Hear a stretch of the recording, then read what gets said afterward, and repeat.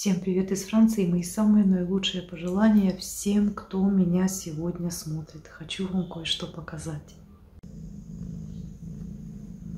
Слышите, девчонки, как Аська мурчит. Знаете, это первый раз с марта месяца, когда она мурчит.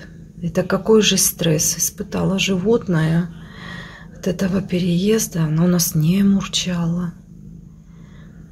Моя ты девочка. В картоночку забралась и мурчишь. Моя ты хорошая. Моя ты маленькая. Ой, ты солнышко ты мое. Моя ты девочка.